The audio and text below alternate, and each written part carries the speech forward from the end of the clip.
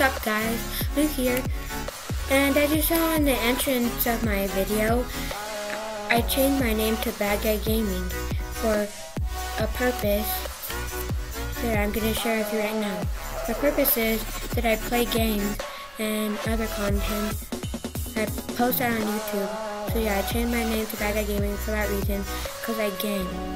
So yeah, I see you. I'll see you guys in the next video. Bye. Peace.